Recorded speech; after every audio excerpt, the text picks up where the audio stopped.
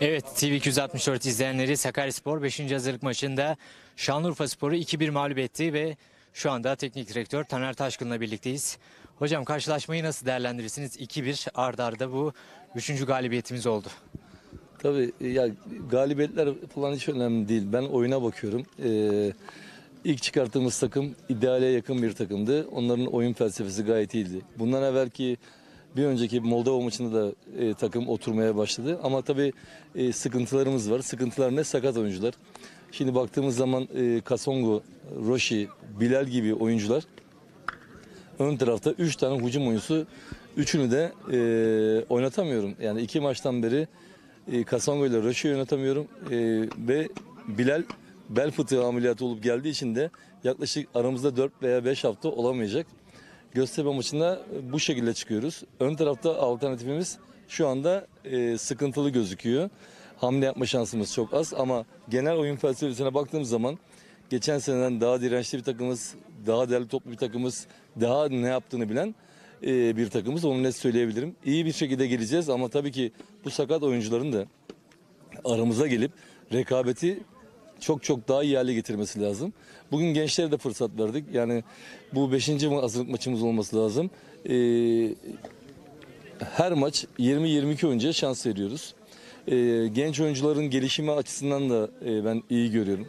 Hem aramızda denenmeye gelen birkaç tane oyuncu var. Onların da gelişim açısından iyi görüyorum. Yani e, lige e, yavaş yavaş %60-%70 hazır gibi olduğumuzu söyleyebilirim. En son maçlar biraz daha vites büyüteceğimizi düşünüyorum. Dediğim gibi aramıza e, gelecek olan sakat oyuncularla beraber çok daha iyi, daha güçlü olacağız. İnşallah lige hazır bir Sakaryaspor olarak gireceğiz inşallah. Hocam sizi çok fazla tutmadan tek bir şey daha soracağım. Ee, bundan sonra yine transfer olacak mı? Eksik gördüğünüz bölgeler var mı? Evet yani orta orta alana mutlaka e, e, bir e, rekabeti artırmak için 10 numara tarzında bir oyuncu istiyoruz. Bununla ilgili de başkanla yönetimle sürekli istişare halindeyiz. E, yani belki bir 8 daha olabilir oradaki rekabeti artırmak için.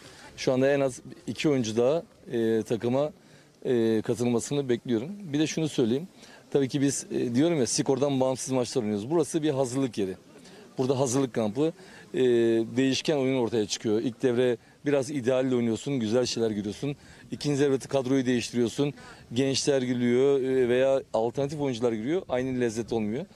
E, bir de bir handikap da şu. Biz Sakaryaspor olarak gerçekten güçlü bir isme sahibiz. Onu burada tekrar tekrar görüyorum. Neden?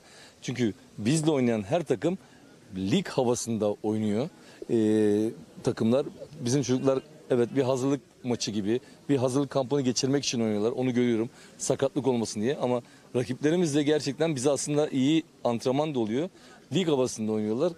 Ee, burada bir kez daha Sakaryaspor'un hazırlık maçlarında dahi ne kadar güçlü bir e, cami olduğunu görüyorum. Peki Bu hocam arada teşekkür ederiz şu anda. Islanıyoruz. Evet canlı yayında çok teşekkür Evet, benim ederiz hocam. şapkam var ama senin yok. Sağ olun hocam Tamam. gösteriniz için. Sakarya'ya selamlar.